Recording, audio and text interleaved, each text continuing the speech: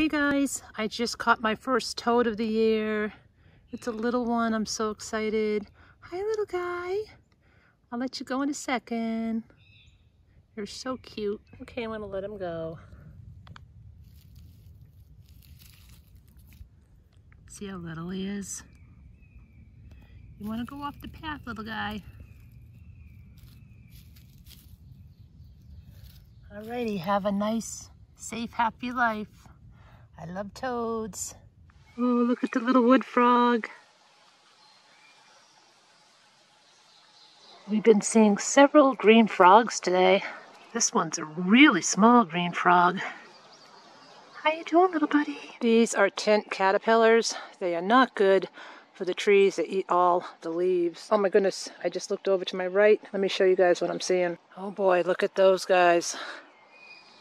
Here is a cricket. At first I thought it was dead, but then when I picked it up, it just hopped right out of my hand. I'm not sure which species of ants these are, but they have a lot of red in them.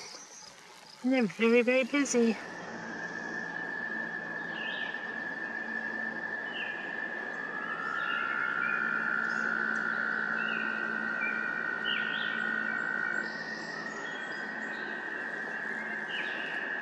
Those are toads.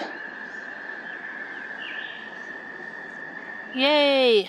This is pink lady slipper. This is the first one that I've seen leafing out. Pretty soon we'll be seeing these beautiful orchids blooming. I just walked up the trail like 20 feet and I found one that has a bud. Awesome. And another one. This is so exciting. I absolutely love lady slippers. Yay, this is my first Jack in the Pulpit of the year. I love them. How awesome is that? Really a cool flower. Oh wow, I just found another Jack in the Pulpit, and this one's much bigger than the first one I found earlier on this walk. It is such a cool, fascinating plant. Look at the size of these leaves.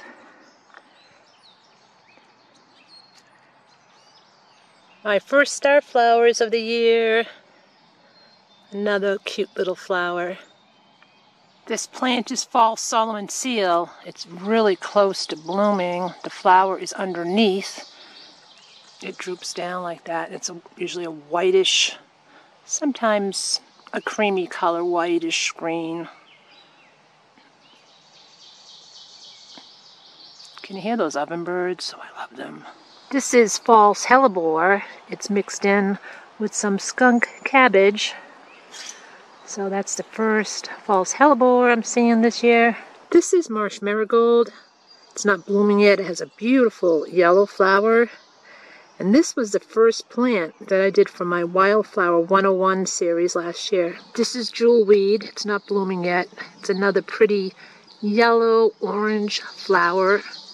The hummingbirds love it, and it's a really important food source for the hummingbirds come autumn. It'll be the last blooming flower that's available to them before they migrate away. The very sweet and delicate Canada Mayflower. You can find this all over the forest woodland floors. Here's a good example of the Canada Mayflower in this section of the woods.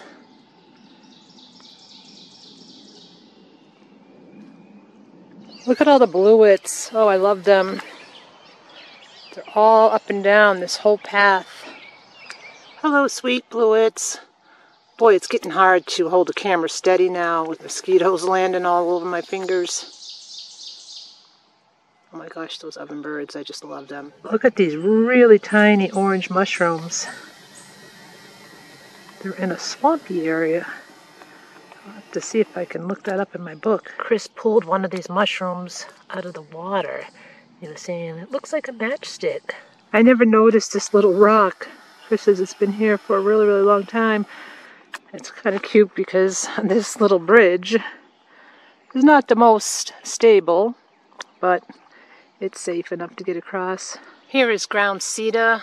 It's a lycopodium. You will find this all over the woodland forest floors. I like its flat leaves. A flowering dogwood. I'm underneath the high tension wires. I'm not sure if you guys can hear a little bit of electrical sound. Here's one of my favorite plants. This is sweet fern. If you pick a leaf and roll it and give it a sniff, it has the most wonderful, wonderful aroma. This is yellow rocket. You'll find this plant on the edge of fields, waste areas, along the road. You might see it in the middle of the highway, the medium strip. So there's its leaves. Here's a really tiny milkweed plant. There's just two here I see starting to pop up. It's a very important food source for the monarch butterflies. They'll lay their eggs here for the caterpillars. And then they will hatch and the caterpillars will eat the leaves. And then eventually they'll turn into a beautiful monarch butterfly. This plant is a bedstraw, possibly a hedge bedstraw. It's not blooming yet, but there's a lot out here in this field. This is Autumn's olive. It has a wonderful aroma. However, this plant is very invasive. I'm right by the road, so sorry about the traffic.